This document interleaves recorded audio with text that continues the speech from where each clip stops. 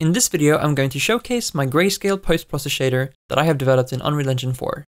This shader has five exposed parameters that allows you to control various properties of the grayscale.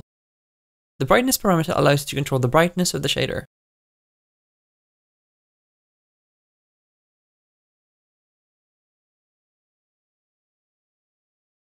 The contrast parameter allows you to control the contrast of the shader. The alpha parameter blends between the grayscale and the color in your scene.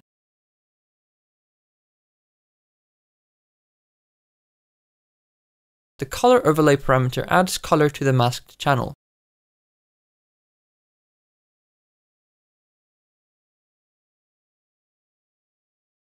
The mask parameter enables a colored channel of the selected post-process input.